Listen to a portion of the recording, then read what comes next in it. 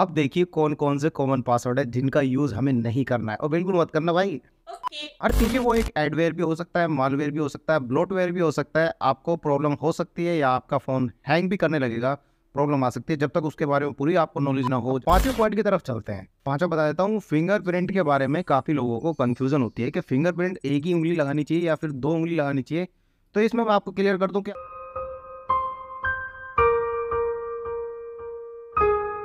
दोस्तों, स्मार्टफ़ोन का यूज़ हम सब करते ही हैं। पाँच बातें आपको ऐसी बताऊँगा जिसका जानना आपके लिए बहुत ज़रूरी है और आपके बहुत काम आने वाले हैं। आज मोबाइल रिपेयर वाला आपको खुद पाँच टिप्स देने वाला है। ध्यान से सुनिएगा। पहली टिप्स, अपने मोबाइल फ़ोन में पासवर्ड लगा के रखिएगा। काफ़ी बंदे आज के टाइम में भी अपने मोबाइल फ़ोन में पासवर्ड नहीं लगाते हैं, जिसकी वजह से मोबाइल अगर खो जाता है या फिर चोरी हो जाता है तो काफ़ी भारी नुकसान का सामना करना पड़ सकता है। देखिए काफ़ी बंदे हैं ना, आज के टाइम में जो पासवर्ड लगाते हैं, वो कॉमन सा पासवर्ड लगा लेते हैं। पाँच से छह तरीके के कॉमन पासवर्ड होते हैं, जिन्हें हम सब भी जानते हैं मोबाइल रिपेयर वाले भी, और चोर भी जानते हैं भाई।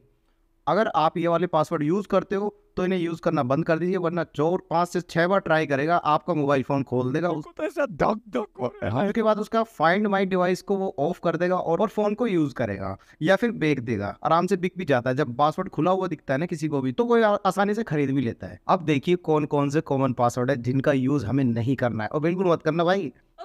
हर तीसरा आदमी है ना यही वाले पासवर्ड लेके घूम रहा है। अब देखिए आपको ये नहीं यूज़ करना है ये छोटा एन बनाते हैं है ना? ये वाला बना देते हैं। ये कॉमन सा पासवर्ड हो गया एल बना देते हैं। ठीक है, ये बड़ा एल ये छोटा एल हो गया। उसके बाद जेड बना देते हैं और उसके बाद एस बना देते हैं बड़ा एम और डब्लू डब्लू बना देते हैं। पाँच से छः बार ट्राई मारेगा चोर और आपका फ़ोन खोल देगा। तो ये कॉमन पासवर्ड यूज़ मत किया करो, ये कॉमन हो चुके हैं, हर किसी को पता होते हैं भाई।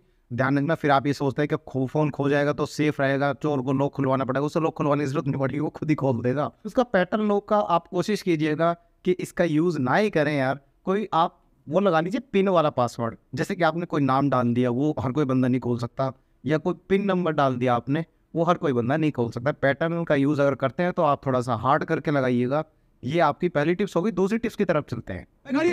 दूसरा आप किसी भी अननेसेसरी ऐप को डाउनलोड मत कीजिए जब तक उसके बारे में आप सही तरीके से नहीं जानते हैं। क्योंकि वो एक एडवेयर भी हो सकता है मालवेयर भी हो सकता है ब्लोटवेयर भी हो सकता है आपको प्रॉब्लम हो सकती है या आपका फ़ोन हैंग भी करने लगेगा प्रॉब्लम आ सकती है। जब तक उसके बारे में पूरी आपको नॉलेज ना हो जब तक आप इंस्टॉल मत कीजिएगा आज के टाइम पे किसी भी एप्लीकेशन का भरोसा नहीं है।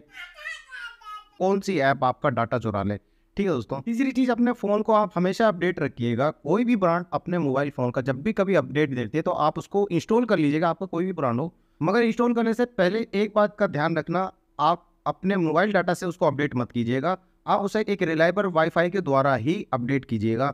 ठीक है दोस्तों चलते हैं चौथे पॉइंट की तरफ़। चलो भाई। चौथे नंबर पे आता है वाईफाई। किसी भी अनसिक्योर वाईफाई से आप कनेक्ट मत करना।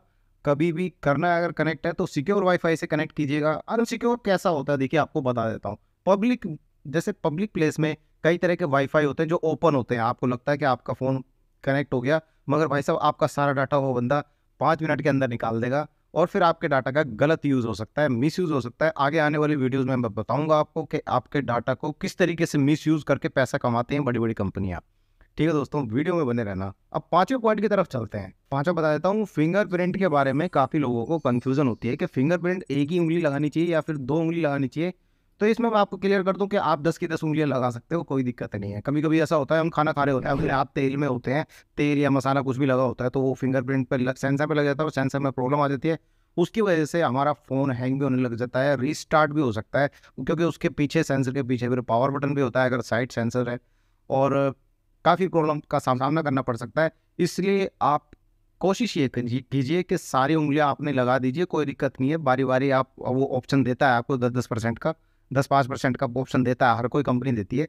तो सारी उंगलियों का आप इस्तेमाल कीजिए, किसी भी उंगली से आप खोल सकते हैं। कोई इसमें कोई प्रॉब्लम वाली बात नहीं और ये और अच्छी बात होती है मोबाइल फ़ोन के लिए ठीक है? ये पाँच पॉइंट आपको कैसे लगे? कमेंट करके बताना। अगर आप भी अपना कोई सजेशन देना चाहते हैं तो आप कमेंट करके मुझे बताइएगा। मैं उससे उसके अकॉर्डिंग आपके लिए वीडियो बना दूँगा। अगर वीडियो अच्छी लगी हो तो चैनल को लाइक ज़रूर कर दीजिएगा। ऐसी हेल्पफुल वीडियो मैं आपके लिए बनाता रहता हूँ।